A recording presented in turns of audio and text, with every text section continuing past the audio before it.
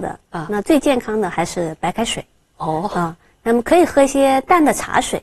对于儿童啊、咀嚼吞咽困难的一些老人或者胃肠功能不好的人，可以选一些鲜榨的蔬果汁啊，或者什么核桃露啊，或者米浆等等。但是这些饮品里面尽量不要去添加糖啊，因为过多的摄入这个含糖的这样的一些饮料，会增加龋齿和肥胖的这种发病风险。不添加糖的这样的一些纯果汁啊，或者蔬菜汁的这些饮料，它会含有一些啊我们说的维生素、矿物质，还有膳食纤维啊这样的一些营养成分啊。那么喝纯果汁呢，我也建议每天不超过三百毫升啊。一些乳饮料，它其实里面的奶的成分可能是很低的啊，所以呢啊适量的饮用，它不能够去代替我们的牛奶。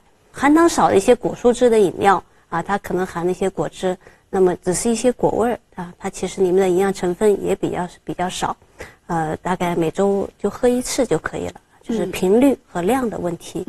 那还有高糖分的这些，比如含香精的这样的一些饮料。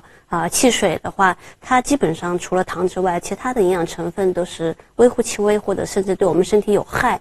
啊，那可能碳酸饮料对这个骨骼啊、对牙齿啊，啊都是不利的。可能仅仅满足了口感。啊，对，所以要尽量的不喝或者少喝。对。